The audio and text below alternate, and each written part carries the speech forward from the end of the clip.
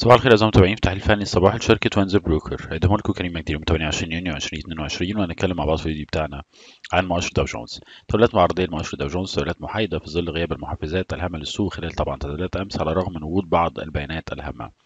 أهمهم طبعا من ظهر أمس كان طلبات السلع المعمره الأساسية اللي جاب نتيجة أفضل من المتوقع 7 من 10% اليوم في انتظار بيان هام مؤشر ثقة المستهلك الأمريكي ال CB المتوقع عليه 100.4 والشهر الماضي كان 106.4 دي كانت أهم البيانات من الأخبار وذلك هننتقل مع بعض ونشوف chart توقعاتنا ليه على مدار اليوم.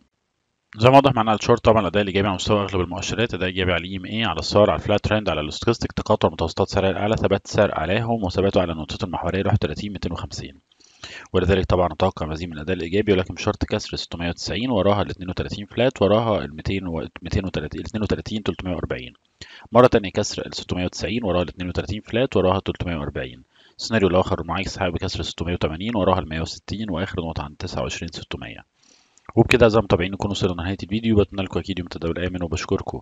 على حسن متابعتكم والسلام عليكم ورحمة الله وبركاته.